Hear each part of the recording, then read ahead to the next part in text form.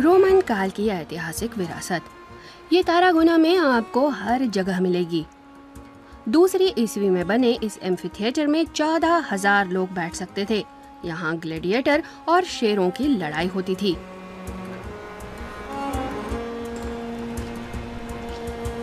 तारागोना 2000 साल पहले रोमन सत्ता का सैन्य और राजनीतिक केंद्र था।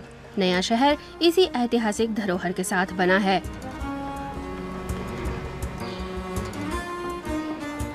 ये गली सर्कस का हिस्सा थी।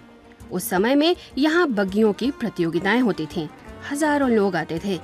ये आज शहर का बाज़ार है। एंटीक सर्कस की क्या बात है?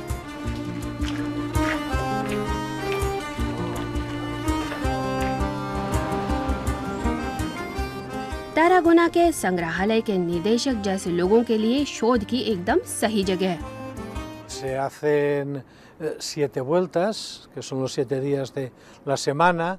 बग्गी चलाने वाले सात चक्कर काटते जो सप्ताह के दिनों का प्रतीक था। चार टीमें होती जो साल के चार मौसमों जैसी थीं। सब कुछ धर्म से जुड़ा था लेकिन निवासियों में सबसे ज़्यादा आकर्षण सर्कस का था। उस समय ऐसे लोग थे जो किसी टीम के फ़ैन थे और शर्त लगाना लोगों की पसंद का काम था।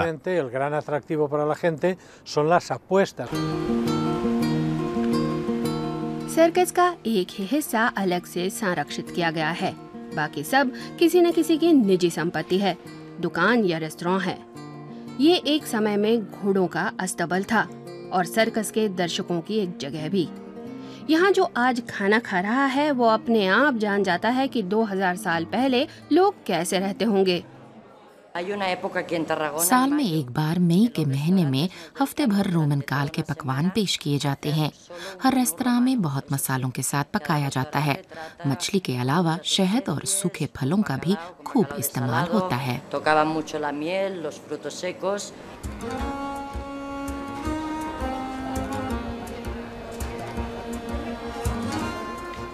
शहर के केंद्र में रोमन सत्ता का प्रशासनिक केंद्र था। यहाँ रोमन कॉलोनी के प्रतिनिधि इकट्ठा होते।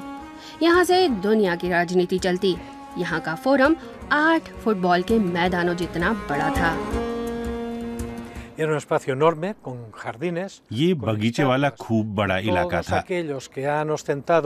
eh. यहाँ रोमन काल के शासकों के पुतले भी थे। इनके ज़रिए वे अपनी ताकत दिखाना चाहते थे।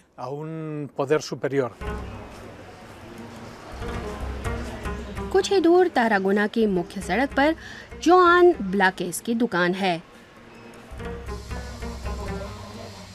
अपनी खास मूर्तियों और गहनों के कारण वे तारागुना से बाहर भी खूब मशहूर हैं।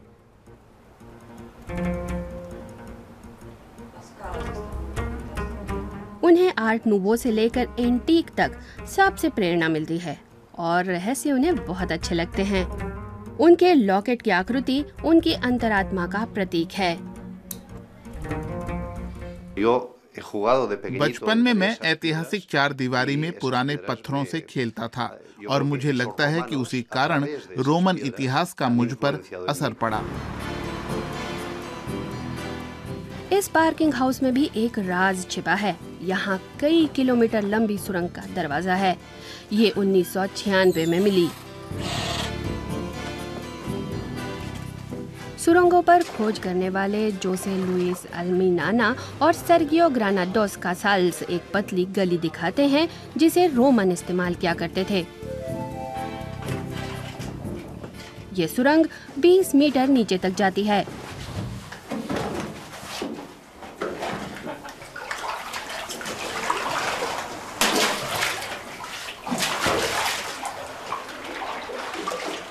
कैटेलोनिया में पाई गई सुरंगों में ये सबसे बड़ी है।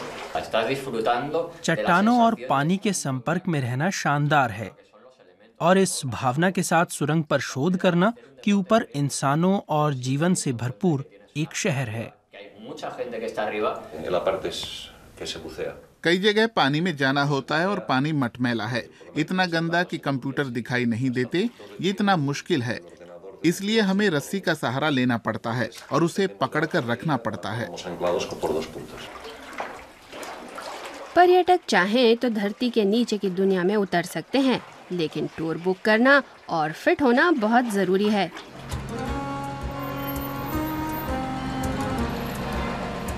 ताराकोना में साहसी और इतिहासकारों के लिए कुछ न कुछ है और उन पर्यटकों के लिए भी जो शहर के मौसम का लुत्फ उठाना चाहते हैं।